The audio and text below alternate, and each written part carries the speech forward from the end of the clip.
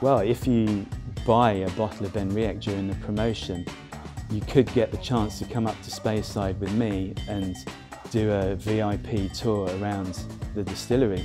So you get to see the floor maltings, you get to see obviously within the distillery uh, what goes on there and then you know come into warehouse 13 here and you know just see this eclectic mix of all this experimentation and innovation that's going on at uh, Benriach. So yeah, I hope to see you soon.